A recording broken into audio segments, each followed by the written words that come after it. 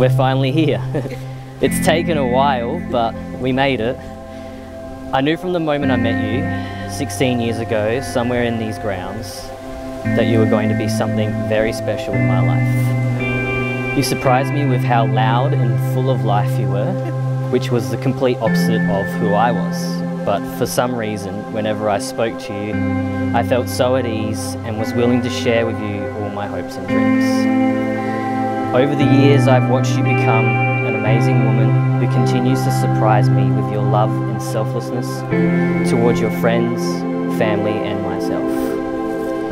I promise you today that I will strive to always put you first, to share the load of any issues you carry, and to never take for granted the love you give me. I'm very proud now to be able to call you my wife, to have you by my side through it all, and I look forward to what the rest of our life brings.